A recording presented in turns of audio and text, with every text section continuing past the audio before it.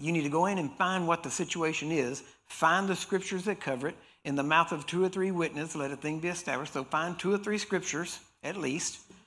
You know, and if you have a whole lot more, great. Mention two or three and then remind him, I got a whole lot more. you know, be a good lawyer. He why? Because he is the judge.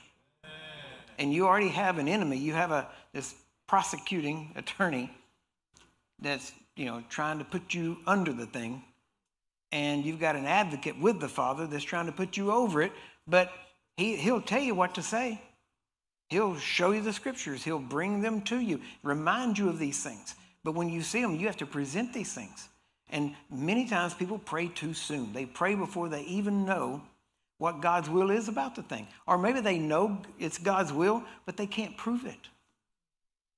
And just like in a court of law, it's not like in police work. It's not what you know, it's what you can prove. See, a lot of people get off on technicalities just because the prosecutor can't prove. Everybody can look and go, yeah, look at this situation. Yep, everybody knows this guy's guilty, but we can't prove it. And so that's what the devil tries to do. No, that's no, no, and he'll try to put doubt in. And when you when he tries to put doubt in you, because you can't say it is written, now you can't pray in faith. So you have to be able to say, It is written, know that it's God's will, know that that applies to your situation. And when you take the time to lay that out, now listen, it may take you an hour, it may take you a day, it may take you a week, whatever it is. But you have to gather together. But let me tell you, you will get an answer a whole lot faster when you do that than if you just, because you can stand there a month going, Oh God, help me, I know it's your will.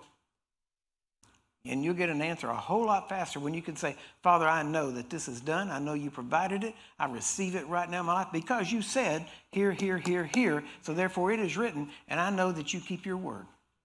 Amen. So, it, see, preparation time is never wasted time. Amen.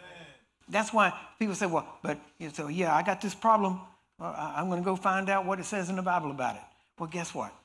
If you study regularly, you won't have to go find out. You'll know. Why? Because you'll know it is written. Why? Because you're regularly putting the word in you. Put yourself through law school. Grab your Bible and study. Go through it, study it out, find God's will, look at the situations, put yourself in those situations and watch what's going on. Live it.